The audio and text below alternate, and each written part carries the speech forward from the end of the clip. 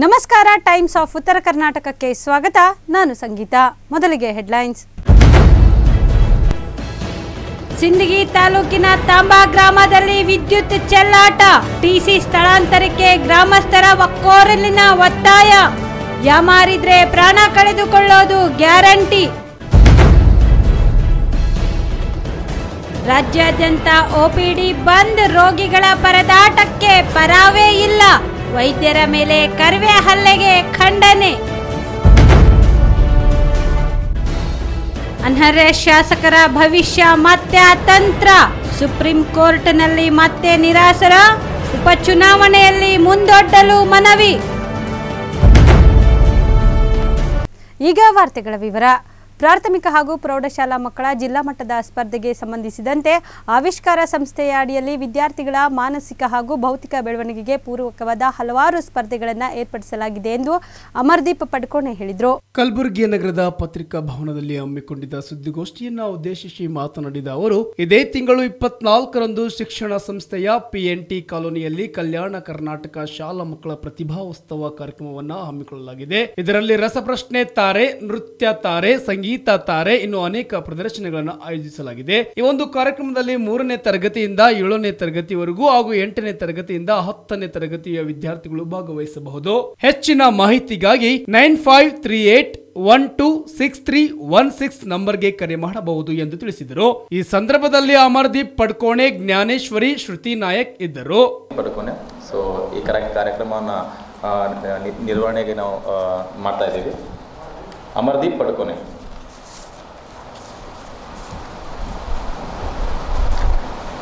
ನಾವು ಪ್ರತಿ ವರ್ಷದಂತೆ ಈ ವರ್ಷವೂ ಕೂಡ ಆವಿಷ್ಕಾರ ಇವೆಂಟ್ ಮಾಡ್ತಾ ಇದ್ದೇವೆ. ಸೊ ಇದು ನಾಲ್ಕನೇ ನಾಲ್ಕನೇ ವರ್ಷ ನಮ್ಮದು ಸೊ ಇದಕ್ಕೂ ಮುಂಚೆ ಮೂರು ವರ್ಷ ಮಾಡಿದ್ದೀವಿ. ಸೊ ಈ ನಮ್ಮ ಆವಿಷ್ಕಾರ ಇವೆಂಟ್ ಮಾಡೋ ಮಾಡೋದು ನಾವು ಶುರು ಮಾಡಿದ್ದು ಏನಕ್ಕಂದರೆ ನಮ್ಮ ಮಕ್ಕಳಿಗೆ ಕ್ಲಾಸ್ ರೂಮ್ ಆ್ಯಕ್ಟಿವಿಟಿ ತುಂಬ ಜಾಸ್ತಿ ಆಗಿವೆ. ಸೊ ಅದು ಬಿಟ್ಟು ನಾವು ಸ್ಪರ್ಧೆ ಮತ್ತು ಕಾಂಪಿಟೇಷನ್ ಬೇರೆ ಮಕ್ಕಳ ಜೊತೆನೂ ಕಾಂಪಿಟೇಷನ್ ಮಾಡುವಂಥ ಆ ಮನೋಭಾವನೆ ಮಕ್ಕಳಲ್ಲಿ, ಆ ಸ್ಪರ್ಧಾತ್ಮಕ ಮನೋಭಾವನೆ ಬೆಳಿಬೇಕಂತಾನೆ ಈ ಒಂದು ಸಣ್ಣ ಒಂದು ಇಂಟೆನ್ಷನ್ ಇಟ್ಕೊಂಡಿದ್ದು ಶುರು ಮಾಡಿದ್ವಿ. ಸೊ ಇವತ್ತಿಗೆ ಈ ಇವೆಂಟ್ ಇನ್ನೂ ದೊಡ್ಡ ಮಟ್ಟಕ್ಕೆ ಬಂದಿದೆ. ಯಾಕಂದರೆ ಎಲ್ಲ ನಮ್ಮ ನಮ್ಮ ಸಹೋದ್ಯೋಗಿಗಳು ಅವರು ಕೋಆರ್ಡಿನೇಷನ್ಲಿಂದ ಇನ್ನೂ ಚೆನ್ನಾಗಿ ಬೆಳೀತಾ ಇದೆ. ಸೊ ಈ ಇವೆಂಟ್ ಎಲ್ಲ ಶಾಲಾ ಮಕ್ಕಳಿಗೆ ಅಂದರೆ ನಾ ಮೂರನೇ ತರಗತಿಯಿಂದ ಹತ್ತನೇ ತರಗತಿವರೆಗೂ ಎಲ್ಲ ಮಕ್ಕಳಿಗೆ ಎಲ್ಲ ಶಾಲಾ ಮಕ್ಕಳು ಬಂದು ಇಲ್ಲಿ ಪಾರ್ಟಿಸಿಪೇಟ್ ಮಾಡ್ಬೋದು. ಸೊ ಇದರಲ್ಲಿ ನಮ್ಮಲ್ಲ ಐದು ಇವೆಂಟ್ ಇವೆ. ಸೊ ಫಸ್ಟ್ ಮೊದಲನೇದಾಗಿ ಅಕಾಡೆಮಿಕ್ ಅಲ್ಲಿ ಫೋಕಸ್ ಮಾಡಬೇಕಂದ್ರೆ ಮಕ್ಕಳಿಗೆ ಕ್ವಿಜ್ ಕಾರ್ಯಕ್ರಮ. ಅದು ಕ್ವಿಜ್ ಕಾರ್ಯಕ್ರಮ ಪ್ರೈಮರಿಗೆ ಬೇರೆ ಮತ್ತು ಹೈಸ್ಕೂಲಿಗೆ ಬೇರೆ ಲೆವೆಲಿಗೆ ಆಗುತ್ತೆ. ಸೊ ಅದೇ ರೀತಿ ನಮ್ಮ ಸೈನ್ಸ್ ಎಕ್ ಸೈನ್ಸ್ ಮತ್ತು ಮ್ಯಾಥಮೆಟಿಕ್ಸ್ ಎಕ್ಸಿಬಿಷನ್ ಅಂದರೆ ಅವ್ರು ವರ್ಕಿಂಗ್ ಮಾಡಲ್ ಮಕ್ಕಳು ಮನೆಯಲ್ಲೇ ಮಾಡ್ಕೊಂಡು ಬರಬೇಕು.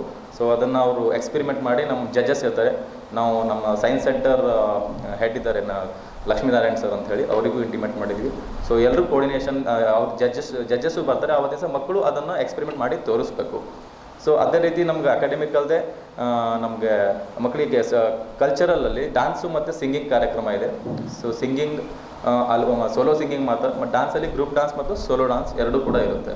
ಸೊ ಅದೇ ರೀತಿ ಕಬಡ್ಡಿ ಅಂದರೆ ನಮ್ಮ ಮಕ್ಕಳಿಗೆ ಔಟ್ಡೋರ್ ಆ್ಯಕ್ಟಿವಿಟಿಯಲ್ಲೂ ಸ್ವಲ್ಪ ಸ್ಪರ್ಧಾ ಮನೋಭಾವನೆ ಹುಟ್ಟಿಸ್ಬೇಕಂತ ಈ ಸರಿ ಮೊದಲನೇ ವರ್ಷದಿಂದ ಕಬಡ್ಡಿ ಕಾರ್ಯಕ್ರಮ ಪ್ರೈಮರಿ ಮತ್ತು ಹೈಸ್ಕೂಲ್ ಮಕ್ಕಳಿಗೆ ಇಬ್ಬರಿಗೂ ಆರ್ಗನೈಸ್ ಮಾಡ್ತಾ ಇದ್ದೀವಿ ಸೊ ಇದರಲ್ಲಿ ನಮ್ಮದು ಮೇಜರ್ ಫೋಕಸ್ ಏನಂದರೆ ನಾವು ಕಲ್ಯಾಣ ಕರ್ನಾಟಕ ಭಾಗದಲ್ಲಿ ಫೋಕಸ್ ಮಾಡ್ತಿರ್ಬೇಕಾದ್ರೆ ಹಳ್ಳಿ ಮಕ್ಕಳು ತುಂಬ ಜಾಸ್ತಿ ಇದ್ದಾರೆ ಸೊ ಅದಕ್ಕೆ ನಮ್ಮ ಸರ್ಕಾರಿ ಶಾಲೆಯಲ್ಲಿ ಕಲಿತ, ಕಲಿತಿರ್ತಕ್ಕಂಥ ಪ್ರತಿ ವಿದ್ಯಾರ್ಥಿಗಳಿಗೆ ಯಾವುದೇ ನಮ್ಮ ಫೀಸ್ ಇರೋಂಗಿಲ್ಲ. ಅವರು ಫ್ರೀಯಾಗಿ ಉಚಿತವಾಗಿ ಈ ಕಾರ್ಯಕ್ರಮದಲ್ಲಿ ಪಾರ್ಟಿಸಿಪೇಟ್ ಮಾಡ್ಬೋದು. ಸೊ ಅಂದರೆ ನಮ್ಮ ಕೊನೆ ಲಾಸ್ಟ್ ಇಯರ್ ನಾವು ಮಾಡಿದಾಗ ನಮ್ಮದು ಅಧ್ಯಕ್ಷರಾದಂಥ ಡಾಕ್ಟರ್ ಅಜಯ್ ಸಿಂಗ್ ಸರು ಮತ್ತು ಬಸವರಾಜ್ ಮತ್ತಿಮೂಡ್ ಸರ್ ಅವರು ನಾವು ಗೆಸ್ಟಾಗಿ ಇನ್ವೈಟ್ ಮಾಡಿದ್ವಿ. ಸೊ ಆವಾಗ ಇದು ನಾವು ಡಿಸ್ಕಸ್ ಮಾಡಿದ್ವಿ. ಸೊ ನಾವು ಹಳ್ಳಿ ಮಕ್ಕಳಿಗೂ ಕಾಂಪಿಟೇಷನ್ ಲೆವೆಲ್ಗೆ ತರಬೇಕು ಅಂದರೆ ಗುಲ್ಬರ್ಗ ಅಂತ ಸಿಟಿಗೆ ಬಂದವರು ಕಾಂಪಿಟೇಷನ್ ಮಾಡಬೇಕು. ಈಗಾಗಲೇ ಪ್ರತಿಭಾ ಕಾರಂಜಿ ಅಂತ ಕಾರ್ಯಕ್ರಮ ಮಾಡ್ತಾ ಇದ್ದಾರೆ. ಸೊ ಅದನ್ನೇ ನಾವು ಇನ್ನೂ ಅವ್ರಿಗೆ ಜಾಸ್ತಿ ಆಪರ್ಚುನಿಟಿ ಕೊಡಬೇಕು ಅಂತ ಹೇಳಿ ಅವ್ರು ಡಿಸ್ಕಸ್ ಮಾಡ್ತಕ್ಕಂಥ ಈ ಸರಿ ಪ್ರತಿ ಹಳ್ಳಿ ಅಂದರೆ ಎಲ್ಲ ಸರ್ಕಾರಿ ಶಾಲೆಯಲ್ಲಿ ಕಲಿತಕ್ಕಂಥ ವಿದ್ಯಾರ್ಥಿಗಳಿಗೆ ಇದು ಉಚಿತವಾಗಿ ನಾವು ಕಾಂಪಿಟೇಷನ್ ಅವರಿಗೆ ಅವರು ಪಾರ್ಟಿಸಿಪೇಟ್ ಮಾಡ್ಬೋದು. ಪ್ರಾಥಮಿಕ ಕೃಷಿ ಪತ್ತಿನ ಸಹಕಾರ ಸಂಘ ಕೋಳ್ಕೂರು ಉದ್ಘಾಟನೆ ಹಾಗೂ ಫಲಾನುಭವಿ ಸದಸ್ಯರುಗಳಿಗೆ ಚೆಕ್ ವಿತರಣೆ ಕಾರ್ಯಕ್ರಮವನ್ನು ಹಮ್ಮಿಕೊಳ್ಳಲಾಗಿದೆ ಎಂದು ಅಧ್ಯಕ್ಷ ಶಾಂತಲಿಂಗಪ್ಪ ಗೌಡ್, ಎಂ ಪಾಟೀಲ್ ಹೇಳಿದರು. ಕಲಬುರಗಿ ನಗರದ ಪತ್ರಿಕಾ ಭವನದಲ್ಲಿ ಹಮ್ಮಿಕೊಂಡಿದ್ದ ಸುದ್ದಿಗೋಷ್ಠಿಯನ್ನು ಉದ್ದೇಶಿಸಿ ಮಾತನಾಡಿದ ಅವರು, ಇದೇ ತಿಂಗಳು ಹತ್ತರಂದು ಮುಂಜಾನೆ ಹತ್ತು ಗಂಟೆಗೆ ಕೊಳಕೂರ್ನ ಸಿದ್ಧ ಬಸವೇಶ್ವರ ಕಲ್ಯಾಣ ಮಂಟಪದಲ್ಲಿ ಪ್ರಾಥಮಿಕ ಕೃಷಿ ಪತ್ತಿನ ಸಹಕಾರ ಸಂಘದ ಉದ್ಘಾಟನೆ ಹಾಗೂ ಫಲಾನುಭವಿ ಸದಸ್ಯರುಗಳಿಗೆ ಚೆಕ್ ವಿತರಣೆ ಕಾರ್ಯಕ್ರಮವನ್ನು ಹಮ್ಮಿಕೊಳ್ಳಲಾಗಿದೆ. ಈ ಕಾರ್ಯಕ್ರಮವನ್ನ ಜೀವ ಜೇವರ್ಗಿ ಶಾಸಕ ಡಾಕ್ಟರ್ ಅಜಯ್ ಸಿಂಗ್ ಉದ್ಘಾಟಿಸುವವರು ಎಂದು ಹೇಳಿದರು. ಈ ಸಂದರ್ಭದಲ್ಲಿ ಶಾಂತಲಿಂಗಪ್ಪ ಗೌಡ ಎಂ ಪಾಟೀಲ್ ಶಣ್ಬಸಪ್ಪ ಬಿ ವನಕೆರಿ ಗುರುಶಾಂತ್ ಇದ್ದರು.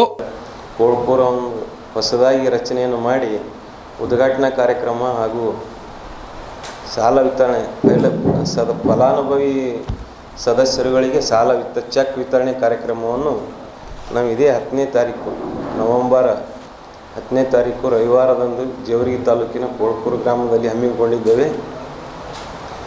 ಈ ಒಂದು ಸಂಘವನ್ನು ರಚಿಸಲು ನಮಗೆ ಮಾ, ಸಲಹೆ ಸೂಚನೆ ಕೊಟ್ಟಂಥ ಸೋಮಶೇಖರ್ ಗೋನಾಯ್ಕ್ ಸರ್ ಅವರಿಗೆ ನಾನು ಈ ಸಮಯದಲ್ಲಿ ಧನ್ಯವಾದಗಳನ್ನು ಸಲ್ಲಿಸ್ತೇನೆ. ಹಾವೇರಿ ಜಿಲ್ಲೆಯ ಹಾನ್ಗಲ್ ಹಾಸ್ಟೆಲ್ ವಾರ್ಡನ್ ಅನ್ನ ಹೊಡೆತಕ್ಕೆ ಬಲಿಯಾದ ವಿದ್ಯಾರ್ಥಿ ವಿಜಯ್ ಹಿರೇಮಠ ಕುಟುಂಬಕ್ಕೆ ಸೂಕ್ತವಾದ ಪರಿಹಾರ ನೀಡಲು ಕಲಬುರಗಿ ಜಿಲ್ಲಾ ಜಂಗಮ ಸಮಾಜದವರು ಜಿಲ್ಲಾಧಿಕಾರಿ ಕಚೇರಿ ಮುಂದೆ ಪ್ರತಿಭಟನೆ ನಡೆಸಿದ್ರು. ಹಾನ್ಗಲ್ ಹಾಸ್ಟೆಲ್ ವಿದ್ಯಾರ್ಥಿ ಸಾವಿಗೆ ಕಾರಣವಾದ ವಾರ್ಡನ್ ವಿರುದ್ಧ ಕೊಲೆ ಆರೋಪದ ಪ್ರಕರಣ ದಾಖಲಿಸಿ ನಿಷ್ಪಕ್ಷಪಾತವಾಗಿ ಪ್ರಕರಣ ತನಿಖೆ ಮಾಡಬೇಕು. ಹಾನ್ಗಲ್ನ ಛತ್ರಾಲಯ ಹಾಸ್ಟೆಲ್ನ ಪಟ್ಟಣದ ನೇಕಾರ ನಗರದ ನಿವಾಸಿ ವಿಜಯ್ ಹಿರೇಮಠನಿಗೆ ಕ್ಷುಲ್ಲಕ ಕಾರಣಕ್ಕಾಗಿ ಹಾಸ್ಟೆಲ್ ವಾರ್ಡನ್ ಮನ ಬಂದಂತೆ ಥಳಿಸಿ ಗಾಯಗೊಳಿಸಿ ಪಾಲಕರಿಗೂ ತಿಳಿಸದೆ ಯಾವುದೇ ಮಾಹಿತಿ ನೀಡದೆ ನಿರ್ಲಕ್ಷ್ಯ ತೋರಿದ್ದಾನೆ ಎಂದು ಆರೋಪಿಸಿದರು. ಕೂಡಲೇ ವಾರ್ಡನ್ ಹೊಡಿತಕ್ಕೆ ಬಲಿಯಾದ ವಿಜಯ್ ಹಿರೇಮಠ್ ಕುಟುಂಬಕ್ಕೆ ಸೂಕ್ತವಾದ ಪರಿಹಾರ ನೀಡಲು ಮತ್ತು ವಾರ್ಡನ್ ಮೇಲೆ ಕಾನೂನು ರೀತಿ ಕ್ರಮ ಕೈಗೊಳ್ಳುವಂತೆ ಆಗ್ರಹಿಸಿದರು. ಸೋಮಶೇಖರ್ ಇನಮ್ದಾರ್, ಜಿಲ್ಲಾ ಜಂಗಮ ಸಮಾಜದ ಮುಖಂಡರು, ಕಲಬುರಗಿ. ಪತ್ರಕರ್ತ ಮಿತ್ರರಲ್ಲಿ ವಿನಂತಿಸಿಕೊಳ್ಳುವುದೆಂದರೆ ಹೋದ ತಿಂಗಳು ಒಂಬತ್ತನೇ ತಾರೀಕು ನಮ್ಮ ಜಂಗಮ ಸಮಾಜದ ವಿದ್ಯಾರ್ಥಿಯಾದ ವಿಜಯ್ ಹಿರೇಮಠ್ ಅವರು ಈ ಹಾನಗಲ್ ಹಾಸ್ಟೆಲ್ನಲ್ಲಿ ಅಭ್ಯಾಸ ಮಾಡ್ತಿದ್ದ ಹುಡುಗ, ಅವನು ಯಾವುದೋ ಒಂದು ಕಾರಣಾಂತರಗಳಿಂದ ಗೆಳೆಯನ ಪೆನ್ಸಿಲನ್ನು ತೆಗೆದುಕೊಂಡು ತೆಗೆದುಕೊಂಡಿದ್ದಕ್ಕಾಗಿ ಆ ವಾರ್ಡನ್ ಎನ್ನುವ ಶ್ರವಣ್ ಕುಮಾರ್ ಎನ್ನುವ ವ್ಯಕ್ತಿ ಆ ಹುಡುಗನ ಮೇಲೆ ಹಲ್ಲೆ ಮಾಡಿ ಹೊಟ್ಟೆಯ ಮೇಲೆ ತನ್ನ ಕಾಲಿನ ಒದ್ದು ಸಿಕ್ಕಾಪಟ್ಟೆ ಹೊಡೆತವನ್ನು ಕೊಟ್ಟಿದ್ದ. ಆ ಹುಡುಗನಿಗೆ ತುಂಬ ನೋವಾಗಿ ಅವನು ಆ ಆಸ್ಪತ್ರೆಗೆ, ಆ ಹುಡುಗನಿಗೆ, ಹುಡುಗನ ತಾಯಿ ತಂದೆಗೆ ವಿಷಯವನ್ನು ತಿಳಿಸದೆ ವಾರ್ಡನ್ನ ಹುಬ್ಬಳ್ಳಿಯ ಕಿಮ್ಸ್ ಆಸ್ಪತ್ರೆಯಲ್ಲಿ ಚಿಕಿತ್ಸೆಗಾಗಿ ದಾಖಲಾತಿ ಮಾಡಿದರು. ಆದರೆ ಆ ಕಿಮ್ಸ್ ಆಸ್ಪತ್ರೆಯಲ್ಲಿ ಆ ಹುಡುಗನ ಆರೋಗ್ಯ ಸರಿಯಾಗದ ಕಾರಣ ಹದಿನೈದು ದಿನಗಳ ನಂತರ ಬೆಂಗಳೂರಿನ ಆಸ್ಪತ್ರೆಗೆ ಸೇರಿಸಿದಾಗ ಹುಡುಗ ಚಿಕಿತ್ಸೆಗೆ ಸ್ಪಂದಿಸದೆ ಹುಡುಗ ಅಲ್ಲಿ ಮೃತಪಟ್ಟಿದ್ದಾನೆ. ತಾಯಿ, ತಂದೆ ಬಹಳ ಒಂದು ಕಡು ಬಡವರಾಗಿದ್ದಾರೆ. ಆ ಒಬ್ಬನೇ ಮಗ ವಿಜಯ ಹಿರಮಠನ್ ನಂಬಿಕೊಂಡು ತಾಯಿ, ತಂದೆ ಬದುಕ್ತಿದ್ರು. ಆ ತಾಯಿ ಹುಟ್ಟಿನಿಂದ ಕುರುಡಲಾಗಿದ್ದಳು ತಂದೆ ಕೂಲಿನಾಲಿ ಮಾಡಿ ಬದುಕ್ತಿದ್ದ ಅಂಥ ಒಂದು ಬಡ ಕುಟುಂಬದ ಮಗನನ್ನು ಅವರು ಕೊಲೆ ಮಾಡಿ ವಾರ್ಡನ್ ಪರಾರಿಯಾಗಿದ್ದಾನೆ ಮೇಲಾಧಿಕಾರಿಗಳು ಯಾವುದೇ ತನಿಖೆಯನ್ನು ಮಾಡಿಸದೆ ಅವನಿಗೆ ವಾರ್ಡನ್ ಮೇಲೆ, ವಾರ್ಡನ್ಗೆ ಸಪೋರ್ಟ್ ಮಾಡ್ತಾ ಇದ್ದಾರೆ. ಈ ಜ, ಕಲಬುರಗಿ ಜಿಲ್ಲಾ ಜಂಗಮ ಸಮಾಜ ಎಲ್ಲ ಮುಖಂಡರು ನಾವು ಖಂಡಿಸಿ, ಇದೇ ರೀತಿಯಾಗಿ ಹುಬ್ಬಳ್ಳಿಯ ಒಂದು ನಮ್ಮ ಜಂಗಮ ಸಮಾಜದ ಯುವ ಘಟಕದಿಂದ ಬಂಗಾರೇಶ್ವರಿ ಮಠವರು ಆತ್ಮೀಯ ಗೆಳೆಯರಾದ ಬಂಗಾರೇಶ್ ಹಿರೇಮಠರು ಕೂಡ ಕಾಂಗ್ರೆಸ್ ಪಕ್ಷದ ಮುಖಂಡರು, ಅವರು ಕೂಡ ಈ ತನಿಖೆಯನ್ನು ಮಾಡಬೇಕಂತೇಳಿ ಖಂಡನೆ ಮಾಡಿದ್ದಾರೆ. ಅದೇ ರೀತಿ ಎಲ್ಲ ಕರ್ನಾಟಕದಾದ್ಯಂತ ಎಲ್ಲ ಜಿಲ್ಲೆಗಳಿಂದ ನಾವು ಈ ಖಂಡನೆಯನ್ನು ಮಾಡ್ತೇವೆ. ಆ ಶ್ರವಣ್ ಕುಮಾರ್ ಅನ್ನೋ ವ್ಯಕ್ತಿಗೆ, ಆ ಹಲ್ಲೆ ಮಾಡಿದ ವ್ಯಕ್ತಿಗೆ ಜೈಲು ಶಿಕ್ಷೆ ಆಗಬೇಕು. ಕಾನೂನಿನಲ್ಲಿ ಏನು ಶಿಕ್ಷೆ ಆಗ್ತದೆ ಕಾನೂನುಗೊಳಪಡಿಸಿಕೊಂಡು ನಾನು ತಮ್ಮಲ್ಲಿ ವಿನಂತಿಸಿಕೊಳ್ಳುತ್ತೇನೆ. ಇಂಡಿ ತಾಲೂಕಿನ ಥಾಂಬಾ ಗ್ರಾಮದಲ್ಲಿ ಟಿಸಿ ಸ್ಥಳಾಂತರಿಸಲು ಗ್ರಾಮಸ್ಥರು ಆಗ್ರಹಿಸಿದ್ದಾರೆ. ತಾಂಬಾ ಗ್ರಾಮದಲ್ಲಿನ ನಡು ಊರಿನಲ್ಲಿ ಇರುವ ಟಿಸಿಗಳಿಗೆ ಸುತ್ತಮುತ್ತಲು ಕಾಂಪೌಂಡ್ ವ್ಯವಸ್ಥೆ ಕೂಡ ಅಳವಡಿಸಿಲ್ಲ. ಪಕ್ಕದಲ್ಲೇ ಕುಡಿಯುವ ನೀರಿನ ಬೋರ್ವೆಲ್ ಇದ್ದು ನೂರಾರು ಜನ ಮಹಿಳೆಯರು ಮಕ್ಕಳು ಅದಕ್ಕೆ ಹೊಂದಿಕೊಂಡೇ ನೀರು ತರಲು ಹೋಗಬೇಕು. ಸ್ವಲ್ಪ ಯಾಮಾರಿದರೆ ಟಿಸಿ ಮೇಲೆ ಬಿದ್ದು ಪ್ರಾಣ ಕಳೆದುಕೊಳ್ಳಬೇಕಾಗುತ್ತದೆ. ಚಿಕ್ಕ ಮಕ್ಕಳು ಕಳೆದ ಎರಡು ದಿನದ ಹಿಂದೆ ಆಟ ಆಡಲು ಹೋಗಿ ಟಿಸಿಗೆ ಟಚ್ ಆಗುತ್ತಿತ್ತು. ಕೂದಲೆಳೆ ಅಂತರದಲ್ಲಿ ಪ್ರಾಣಾಪಾಯದಿಂದ ಪಾರಾಗಿದ್ದಾರೆ. ಎಷ್ಟು ಸಲ ಮನವಿ ಸಲ್ಲಿಸಿದ್ರು ಡೋಂಟ್ ಕೇರ್ ಎನ್ನುತ್ತಿದ್ದಾರೆ. ಅಧಿಕಾರಿಗಳು. ಇಂತಹ ಅನಾಹುತ ಸಂಭವಿಸಿದರೆ ನೇರವಾಗಿ ಅಧಿಕಾರಿಗಳೇ ಹೊಣೆ. ಗ್ರಾಮದಲ್ಲಿರುವ ಪ್ರತಿಯೊಂದು ಟಿಸಿಗಳಿಗೂ ಕಾಂಪೌಂಡ್ ನಿರ್ಮಿಸಬೇಕೆಂದು ಹಾಗೂ ರಸ್ತೆ ನಿರ್ಮಾಣ ಮಾಡಬೇಕೆಂದು ಗ್ರಾಮಸ್ಥರು ಆಗ್ರಹಿಸಿದ್ದಾರೆ. ಗ್ರಾಮ ಪಂಚಾಯತಿ ವ್ಯಾಪ್ತಿಯಲ್ಲಿ ಬರುವ ಕೆಪಿಟಿ ಶೆಲಿನ ಪರಿಸ್ಥಿತಿ, ದಾರಿಗೆ ಹಾದು ಹೋಗುವ ಸಾಮಾನ್ಯ ನಾಗರಿಕರ ಪ್ರಾಣ ತುತ್ತ, ಪ್ರಾಣಕ್ಕೆ ತುತ್ತಾಗುವಂತಹ ಪರಿಸ್ಥಿತಿಯಲ್ಲಿ ಕೆಪಿಟಿ ಶೆಲ್ ಒಂದು ಟಿ ಸಿ ನಿರ್ಮಾಣಗೊಂಡಿದ್ದು. ಈ ಅದರ ಪಕ್ಕದಲ್ಲಿಯೇ ಗ್ರಾಮ ಪಂಚಾಯಿತಿ ವ್ಯಾಪ್ತಿಯಲ್ಲಿ ಹರಿದು ಬರುವಂಥ ಚರಂಡಿ ನೀರು ಸಹಿತ ಸಾರ್ವಜನಿಕರ ಜೀವಕ್ಕೆ ತೊಂದರೆಯನ್ನುಂಟು ಮಾಡುತ್ತಿದ್ದು, ತಾತ್ಕಾಲಿಕ ಇದನ್ನು ಪ್ರತ್ಯೇಕ ಸ್ಥಳದಲ್ಲಿ ಸ್ಥಾಪನೆ ಮಾಡೋದಾಗಿರಲಿ ಅಥವಾ ಇದಕ್ಕೆ ಒಂದು ಸುತ್ತಲ ಕಂಪೌಂಡ್ ನಿರ್ಮಾಣ ಮಾಡೋದಾಗಿರಲಿ ಮಾಡಿದ್ದೇ ಆದ್ರೆ ಒಂದು ಜನರಿಗೆ ಅನುಕೂಲ ಆಗ್ತದೆ. ಇದನ್ನು ಬಿಟ್ಟರೆ ಮುಂದಿನ ದಿನಮಾನದೊಳಗೆ ಈ ಒಂದು ಕೊಳಚೆ ನೀರಿನಿಂದ ಅನೇಕ ಸಾಂಕ್ರಾಮಿಕ ರೋಗಗಳು ಹರಡುವಂಥ ಪರಿಸ್ಥಿತಿ ಇದ್ದು ಜನರ ಒಂದು ಜೀವಕ್ಕೆ ತೊಂದರೆಯಾಗುವಂಥ ಭಯದ ವಾತಾವರಣ ನಿರ್ಮಾಣವಾಗುತ್ತಿರುವುದು ಇದು ತಾಂಬಾ ಗ್ರಾಮದಲ್ಲಿ ಒಂದು ಗ್ರಾಮ ಪಂಚಾಯಿತಿಗೆ ಒಳಪಡುವುದು. ಈ ಗ್ರಾಮ ಪಂಚಾಯಿತಿ ಅಧಿಕಾರಿಗಳ ನಿರ್ಲಕ್ಷ್ಯತನವೇ ಕಾರಣ ಎಂದು ಹೇಳಲು ಯೋಗ್ಯವೆನಿಸುತ್ತೆ. ಹುಡುಗರು ಅಲ್ಲಿ ಚಂಡ ಬಿದ್ದಾವ ತೋತಾವ ಒಂದು ಆಟ ಹೋಗ್ತಾವ್ರಿ? ಅವ್ರ ಸಮಸ್ಯೆ ಹ್ಯಾಂಗ ಕುರು ಹೋಗ ಮುಂದೆ ಗೊತ್ತಾಗಲ್ಲ ಬಾಜು ರಾಡಿ ಎಲ್ಲಕ್ಕ ಸಮಸ್ಯೆ ಆಗತ್ತೆ ನಡಬರ್ಕಾಗಿದ್ದಕ್ಕೆ ಬಿಜಾಪುರ ಜಿಲ್ಲೆ ಇಂಡಿ ತಾಲೂಕು ತಾಂಬಾ ಗ್ರಾಮದ ಕನಕನಗರ ಬಡಾವಣೆಯಲ್ಲಿ ಬರುವಂತ ಟಿ ಸಿ ಇದು ಈ ವಾಯರ ಈ ನೆಲದಿಂದ ಎರಡು ಫೂಟ್ ಅಂತರದಲ್ಲಿದೆ. ಮಕ್ಕಳು ತಿಳಿಯದೆ ಬಂದು ವಾಯರ್ ಹಿಡಿದ್ರೆ ಮಗು ಸಹಿತ ಉಳಿತು ಹತ್ತು ಅನ್ನೋದು ಅರ್ಥ ಮಾಡಿಕೊಂಡು. ಕೆ ವಿ ಮತ್ತು ಗ್ರಾಮ ಪಂಚಾಯತ್ ಅಧ್ಯಕ್ಷರು ಇದರ ಬಗ್ಗೆ ಸ್ವಲ್ಪ ಸೂಕ್ತ ಕ್ರಮ ತಗೋಬೇಕು. ಸೂಕ್ತ ಕ್ರಮ ತಗೋಬೇಕು. ಆಮೇಲೆ ಸುತ್ತಮುತ್ತ ಕಂಪೌಂಡ್ ಮಾಡಬೇಕಂತ ನಮ್ಮ ಅಭಿಪ್ರಾಯ. ಈ ಟಿ ಸಿ ಅಪಘಾತಕ್ಕೆ ಆಹ್ವಾನ ನೀಡುವಂತ ಇದು ಇದು ಸಂಬಂಧಪಟ್ಟವರು ಅಧಿಕಾರಿಗಳು ಇದಕ್ಕೆ ಯೋಗ್ಯ ಕ್ರಮ ತಗೋಬೇಕು. ಇಲ್ಲದೆ ಹೋದ್ರೆ ಮುಂದೆ ಆಗುವ ಅನಾಹುತಕ್ಕೆ ಇದಕ್ಕೆ ಸಂಬಂಧಪಟ್ಟ ಅಧಿಕಾರಿಗಳೇ ಕಾರಣ. ಅದಕ್ಕಾಗಿ ಶೀಘ್ರ ಇದಕ್ಕೆ ಇದರತ್ತ ಗಮನ ಹರಿಸಬೇಕಂತೇಳಿ ನನ್ನ ಅನಿಸಿಕೆ. ಬೆಳಗಾವಿ ಜಿಲ್ಲೆಯ ರಾಯಭಾಗ ತಾಲೂಕಿನ ಮುಗುಳ್ಕೋಡ ಪುರಸಭೆ ಸದಸ್ಯ ಭಾಗವ ಭೀಮಣ್ಣ ಶೇಗುಣಿಸಿಯವರನ್ನ ಅಪಹರಣ ಮಾಡಿದ್ದಾರೆಂದು ಕುಟುಂಬ ಸದಸ್ಯರು ಪುರಸಭೆ ಸದಸ್ಯ ಅವರ ಮನೆ ಮುಂದೆ ರಾತ್ರಿ ಧರಣಿ ಸತ್ಯಾಗ್ರಹ ನಡೆಸಿದ್ದಾರೆ. ಪುರಸಭೆ ಸದಸ್ಯ ಶಿವಾನಂದ್ ಗೋಕಕ್ ಅವರು ಅಪಹರಣ ಮಾಡಿದ್ದರೆಂದು ಭಾಗವ ಶೇಗುಣಿಸಿ ಅವರ ಕುಟುಂಬಸ್ಥರು ಅವರ ಮನೆ ಮುಂದೆ ರಾತ್ರಿಯಿಂದ ಧರಣಿ ಸತ್ಯಾಗ್ರಹ ನಡೆಸುತ್ತಿದ್ದಾರೆ. ಸದಸ್ಯೆಯ ಮಗಳಾದ ಸಂಗೀತ ಮಾತನಾಡಿ ನಮ್ಮ ತಾಯಿಯಾದ ಭಾಗವ್ವ ಪುರಸಭೆ ಸದಸ್ಯ ಇದ್ದ ಕಾರಣ ಪುರಸಭೆಯ ಅಧ್ಯಕ್ಷ ಉಪಾಧ್ಯಕ್ಷ ಆಯ್ಕೆ ಪ್ರಕ್ರಿಯೆ ನಡೆಯುತ್ತಿದ್ದು ಅದಕ್ಕಾಗಿ ನಮ್ಮ ತಾಯಿಯನ್ನ ಅಪಹರಣ ಮಾಡಲಾಗಿದೆ ಎಂದು ಹೇಳಿದರು. ನಾವು ಈಗಾಗಲೇ ಬೆಳಗಾವಿ ಪೊಲೀಸ್ ವರಿಷ್ಠಾಧಿಕಾರಿಗಳಿಗೆ ಕೇಸ್ ಕೂಡ ಮಾಡಲಾಗಿದ್ದು ಎಸ್ಪಿ ಅವರು ನಮಗೆ ಸ್ಪಂದಿಸಿಲ್ಲವೆಂದು ಸದಸ್ಯ ಮಗಳು ಸಂಗೀತ ಅಸಹಾಯಕತೆ ವ್ಯಕ್ತಪಡಿಸಿದ್ರು.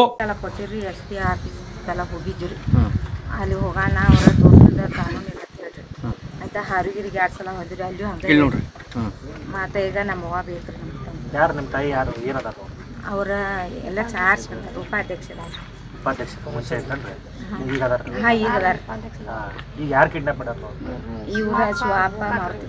ಅವ್ರು ಮತ್ತೆ ಯಾರು ಮಾಡಿದಾರ್ರಿ ಅಮ್, ಶಿವಾಪ ಮಾರುತಿ ಗೋಕಾಕ್ರಿ ಕಿಡ್ನಾಪ್ ಮಾಡಿದಾರೆ ಕಿಡ್ನಾಪ್ ಮಾಡಿದಾರೆ ಹ್ಞೂ ರೀ ಹೇಳ್ದನ ಕರ್ಕೊಂಡು ಹೋಗ್ಯಾರ ಕಿಡ್ನಾಪ್ ಮಾಡಿದಾರೆ ಅವ್ರಿಗೆ ಏನು ಸಂಬಂಧ ಇಲ್ರಿ ಇದು ಒಟ್ಟು ಇಲೆಕ್ಷನ್ ಬದ್ದಲ್ ನೋಡ್ರಿ. ಅಕ್ಕ ಈಗ ಕಿಡ್ನಾಪ್ ಮಾಡಿದಾರೆ ಏನು ಹೇಳ್ದವನ್ನ ಅವ್ರ ಒಟ್ಟ ನಮ್ಮ ಮನ್ಯಾಗ ಗೊತ್ತಿಲ್ರಿ ಹೇಳ್ದನ ಒಟ್ಟು ಅವ್ರು ನಿಮ್ಮ ಅವ್ರ ಹಾಂ ತಗೊಂಡು ಹಾಂ ತಗೊಂಡು ಎಷ್ಟು ದಿನ ಇದ್ರಿ ಈಗ ಮೂರುವರೆ ತಿಂಗಳು ಆತ್ರಿ ಎಲ್ಲಿದಾರೆ ನಿಮ್ಮ ಅವ್ರು? ಎಲ್ಲಿದಾರ ಅನ್ನೋದು ಗೊತ್ತಾಗಿಲ್ರಿ ರೀ ಸತ್ತಾಳೋ ಅದಾಳೋ ಅನ್ನೋದು ಗೊತ್ತಾಗಿಲ್ರಿ ನಮ್ಗೆ ಗೊತ್ತ.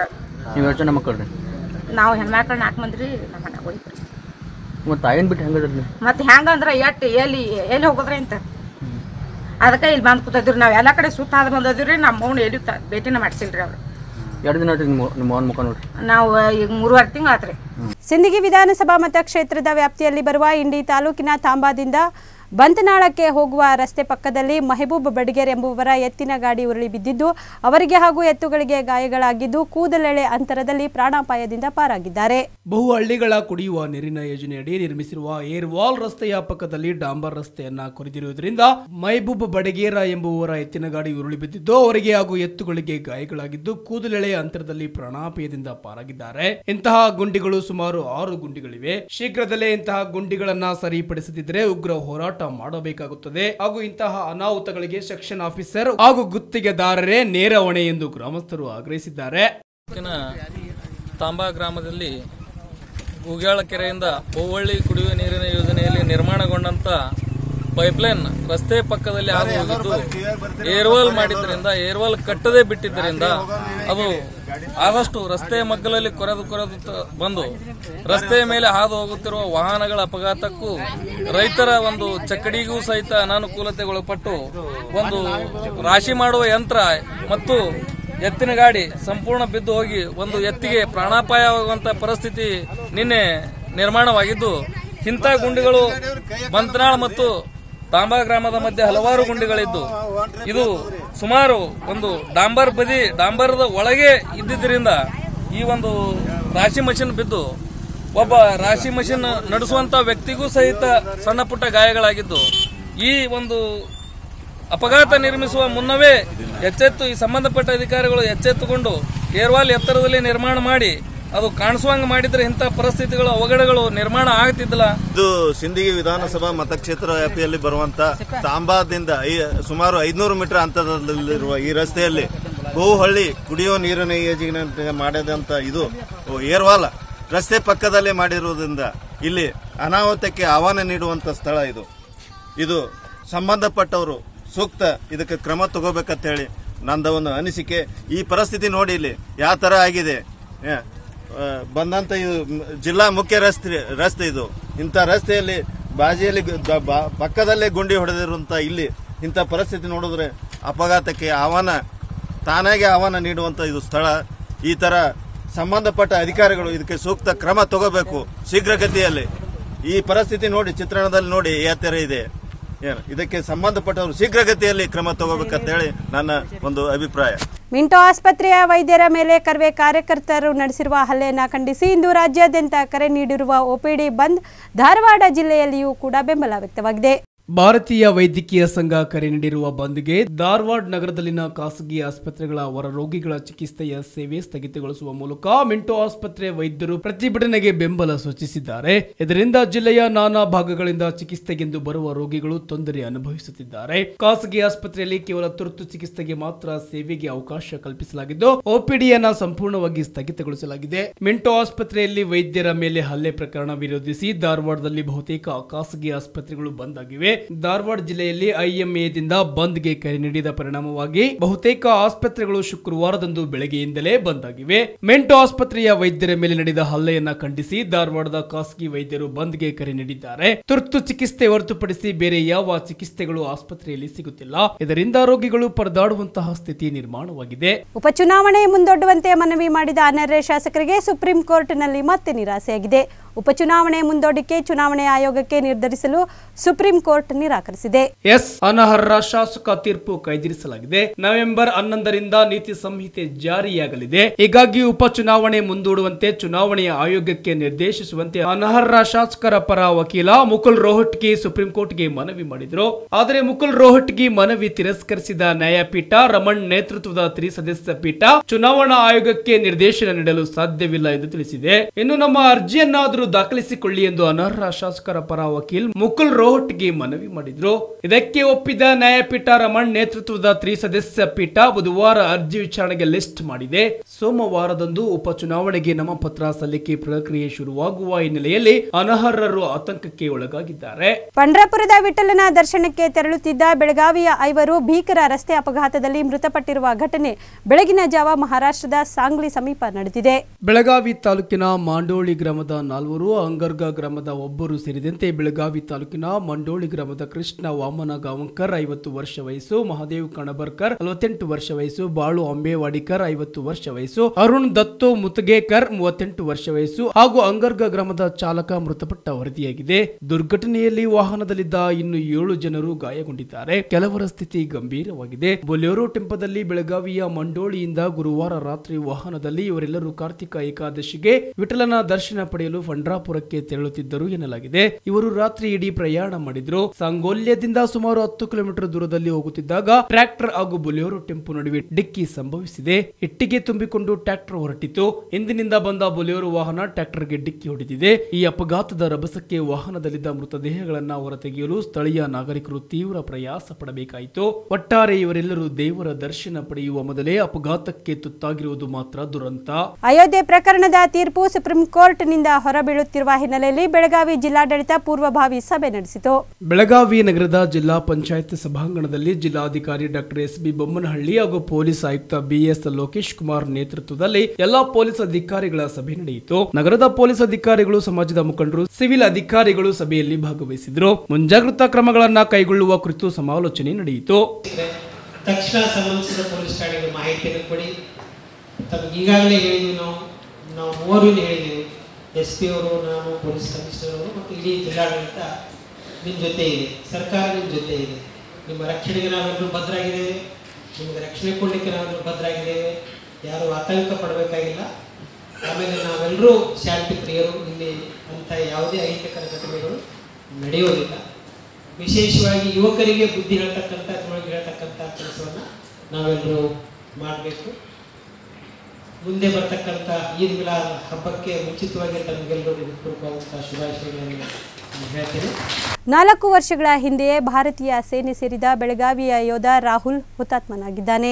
ಉಚ್ಚಗಾಂವ ಗ್ರಾಮದ ಈ ವೀರ ಯೋಧ ಜಮ್ಮು ಮತ್ತು ಕಾಶ್ಮೀರದಲ್ಲಿ ಉಗ್ರರೊಂದಿಗೆ ನಡೆದ ಗುಂಡಿನ ಕಾಳಗದಲ್ಲಿ ಹೋರಾಡಿ ಸಾವನ್ನಪ್ಪಿದ್ದಾನೆ. ರಾಹುಲ್ ಗಣೇಶ್ ಉತ್ಸವ ವೇಳೆ ತವರಿಗೆ ಬಂದಿದ್ರು. ಜಮ್ಮುವಿನ ಪುಂಚ್ ಬಳಿ ಭಯೋತ್ಪಾದಕರೊಂದಿಗೆ ಸೆಣಸಾಡುವಾಗ ಗುಂಡು ತಗಲಿ ಹುತಾತ್ಮನಾಗಿದ್ದಾನೆ. ರಾಹುಲ್ ಅಣ್ಣ ಮಯೂರ್ ಕೂಡ ಸೈನ್ಯದಲ್ಲಿ ಸೇವೆ ಸಲ್ಲಿಸುತ್ತಿದ್ದಾರೆ. ರಾಹುಲ್ನ ತಂದೆ ಸಹ ಸೇನೆಯಲ್ಲಿ ಸೇವೆ ಸಲ್ಲಿಸಿ ನಿವೃತ್ತರಾಗಿದ್ದಾರೆ. ತನ್ನ ಇಬ್ಬರು ಮಕ್ಕಳನ್ನ ಸೇನೆಗೆ ಸೇರಿಸಿ ತಂದೆ ಬೈರು ಸುಳ್ಗೇಕರ್ ದೇಶಾಭಿಮಾನ ಮೆರೆದಿದ್ದಾರೆ. ಉಚ್ಗಾಂವ್ಗೆ ಶುಕ್ರವಾರ ಸಂಜೆ ಯೋಧನ ಪಾರ್ಥಿವ ಶರೀರ ಆಗಮಿಸುವ ಸಾಧ್ಯತೆ ಇದ್ದು ಅಂತಿಮ ಸಂಸ್ಕಾರಕ್ಕೆ ಸಿದ್ಧತೆ ಮಾಡಿಕೊಳ್ಳಲಾಗುತ್ತಿದೆ ಎಂದು ಕುಟುಂಬದ ಮೂಲಗಳು ತಿಳಿಸಿವೆ.